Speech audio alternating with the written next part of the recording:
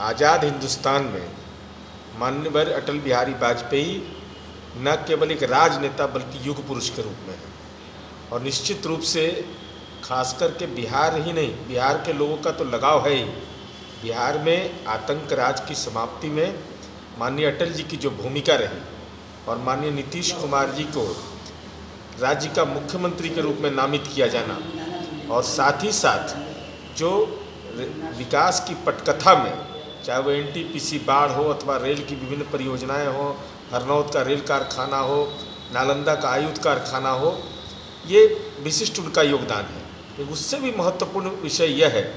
कि राजनैतिक मतभेद रहते हुए भी मान्यवर अटल बिहारी वाजपेयी जी ने जो राजनीति की सौहार्दता की जो लकीर खींची है, वो बेमिसाल है। और देश ही नहीं, दुनिया के लोग इस बात की दुआ कर रहे हैं कि अटल जी जैसा युग पुरुष जल्द से जल्द स्वस्थ हों और ये आम लोगों की जन भावना का प्रकटीकरण है। बिहारी वाजपेयी, देश का और समाज का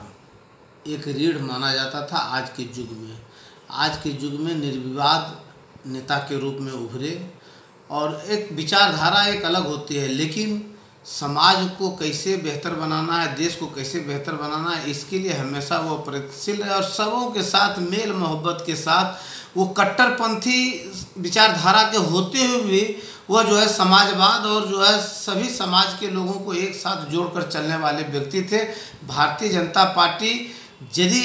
कोई घटना दुर्घटना घटती है तो भारतीय जनता पार्टी, अटल बिहारी वाजपेयी जी के जाने के बाद वह पूर्णतः ध्वस्त हो जाएगा।